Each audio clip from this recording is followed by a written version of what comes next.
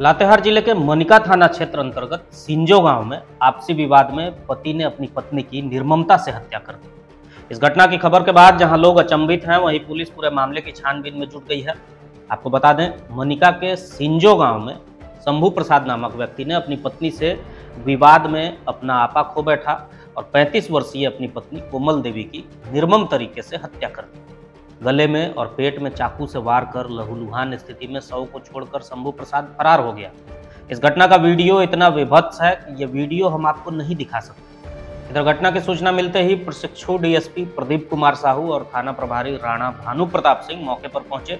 शव को कब्जे में लेकर अंत परीक्षण के लिए लातेहार सदर अस्पताल भेज दिया। वहीं हत्यारे की गिरफ्तारी के लिए छापेमारी शुरू कर दी।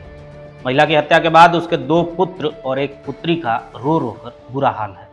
ये हमें सूचना मिली है कि कोमल देवी उम्र करीब पैंतीस वर्ष इनके घर पे इनका शव पड़ा हुआ था।